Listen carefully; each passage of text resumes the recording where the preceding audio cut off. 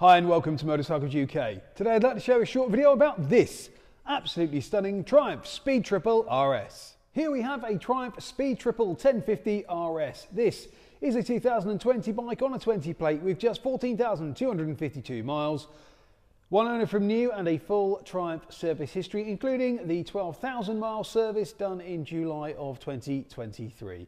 This bike's in excellent condition uh, and comes in the crystal white colour scheme with the red details. You've already noticed, no doubt, the Arrow silencers there, uh, which sound fantastic. You've also uh, single-sided swinging arm with the rear wheel nut embellisher as well there. Uh, the rear wheel itself in excellent condition, no dings, dents, scuff scrapes or scratches. And the rear tyre, plenty of life left in that. There's a standard back end.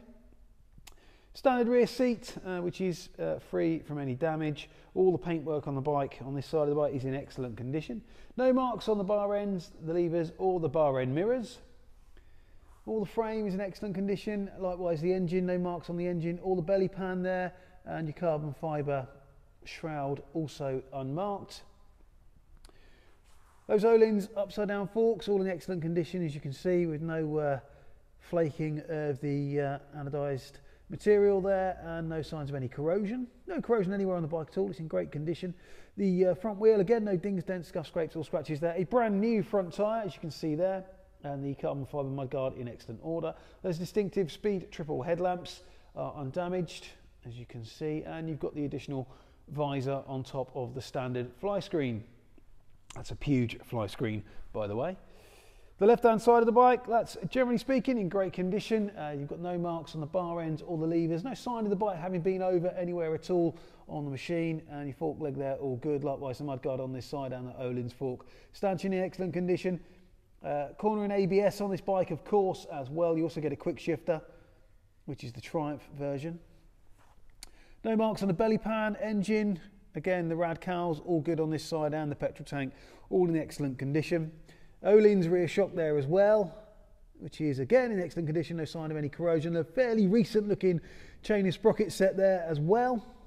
And the rear tyre, again, uh, sorry, the rear wheel in excellent condition. The Arrow silencer on this side, again unmarked, no dings or dents in that one either. The only mark on this bike, I have to say, is just in this decal here on the rear uh, sort of cowling, I guess. And it looks like where somebody's either had something strapped to it or they've sort of just kicked it with a boot, unfortunately swinging their leg over but uh, certainly nothing to be concerned about. Keyless ignition on this one as well and a TFT dash.